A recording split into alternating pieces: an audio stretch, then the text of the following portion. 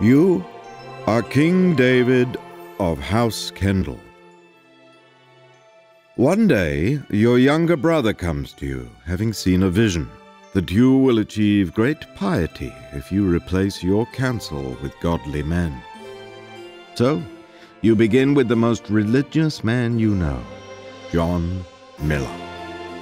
While John is a godly man, he's also an insane zealot and makes numerous requests as your new marshal, such as imprisoning heathen vassals and family members, banishing rabbits, deer, and other sinful animals, as well as many especially unpleasant rituals. Finally, sick of his nagging, you sail to the Iberian countryside, where his requests can fall on deaf ears, as your scribe is, well, deaf.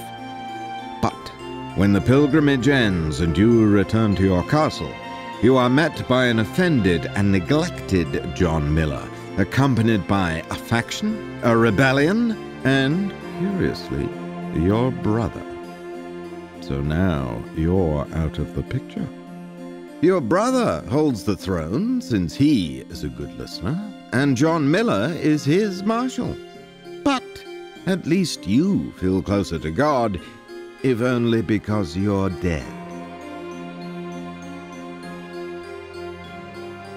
Crusader Kings 2 Conclave.